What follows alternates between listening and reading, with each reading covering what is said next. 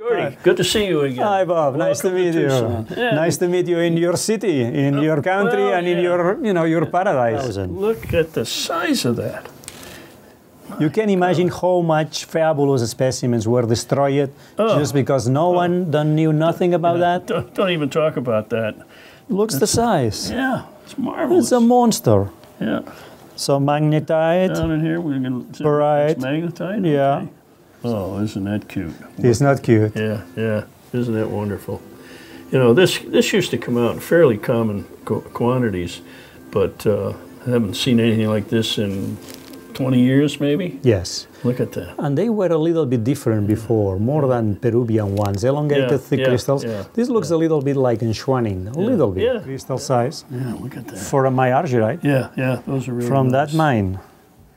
You never hear about that mine probably. It's a silver deposit in Hmm. Oaxaca in the deep south of Mexico. And what happens is that the miners sold this material in April 2013 as tetrahedrite because they don't know so much Yeah, about that. yeah, yeah. And it was recently analyzed by John Attard and uh, Marcus Origlieri, both analyzed it.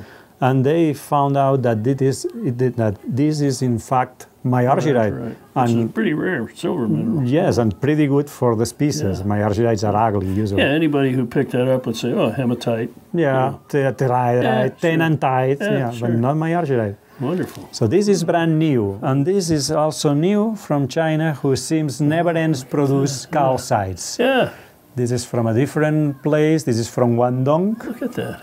Zoned Yes, poker chip yes. form. We had Oh, really? some some uh, talk about the helvites and genthelvites from Huanggang mines, but they also found danalite, and this is the iron pole of the cities. This is the danalite. But the interesting thing is that you should analyze each one individual. I see. anything make difference not color not shape not size not related minerals The only chemistry.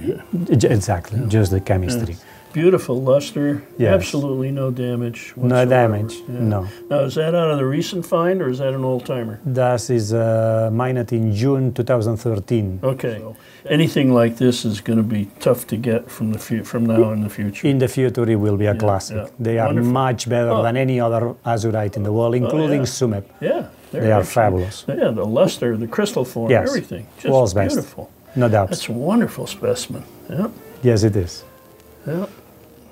Can't be better.